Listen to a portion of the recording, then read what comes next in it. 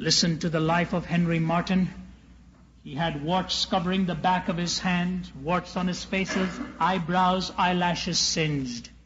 He was not a welcoming looking man. He was a Cambridge scholar. And people tell us that when he was a scholar at Cambridge and the cricket games and all of those would be played, he'd be standing behind a tree someplace, always afraid to go and get involved in a conversation with anybody, so conscious about the warts that covered his body and the unattractive face that he had. He was a genius.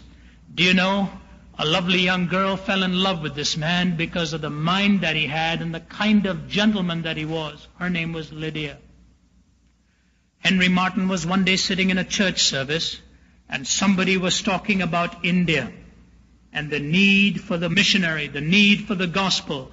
And young Henry Martyn in his twenties, his heart began to pulsate and throb with the need for telling the people of India the gospel of Jesus Christ. He walked away from there, his head in the clouds, asking God if that's what God really wanted of him, even though he considered himself such an unworthy servant. Do you know what happened in this man's life? He went on, knocked on the door of the girl who was dearest to him in all the world, who had caused his heart to pound with a deep passion and love and romance and commitment to her.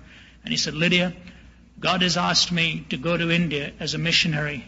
I'm not worthy of that calling, but he's asked me to go. Would you join with me after we are married? Let's go to India and serve the Lord Jesus Christ. And she said to him, Henry, if there's one part of the world I never want to go to, I don't want to go to India. And he said, How can you make such a statement? She says, I don't know, but my heart has that. I do not want to go. He loved her. He pleaded and begged, even for a short term, to trust him and go with him. And finally, they came to a head on collision course on this. And Henry Martyn says when he was praying one day, he began to struggle in his heart. Is it going to be Lydia or is it going to be India? Is it going to be Lydia? Is it going to be India? When it dawned on him, it really wasn't Lydia or India. It was Lydia or God. This man came to my country in India, and from there he went to Persia. He was dragged across a desert in chains. He suffered much at the hands of his tormentors. There are churches in Calcutta that bear his name today. He went to India and then went on to Persia. He died when he was 31 years old. Do you know what he gave to the world before he died?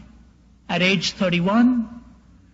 The translation of the New Testament in Hindustani, in Persian, and in Arabic.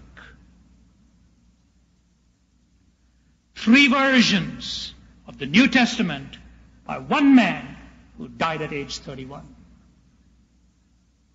Do you hunger and thirst after His will? And I hope some of you will be willing to lay at the altar that which you have clung to for a long time.